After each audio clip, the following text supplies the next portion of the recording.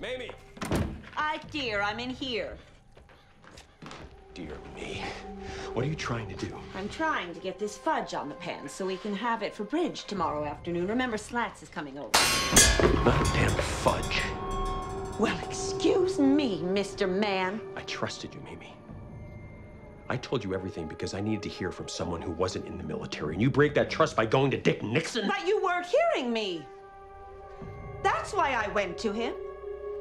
I was desperate to find anyone who could talk some sense into you. Well, all he did was convince me even further that we need to resist these things because if we don't, people like Nixon are gonna make out. Ike, dear, you are not thinking straight. No, I'm the only one who is thinking straight.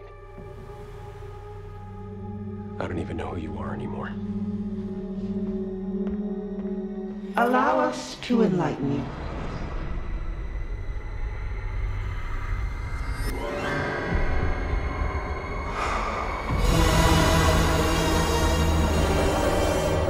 We've spoken before. From another body. Mamie. She's in here, Mr. President. And she's not very happy about it. You sons of bitches. You will deal with us for the good of your country. You remember what happened to the last person we occupied. I will kill every damned one of you if you hurt my wife.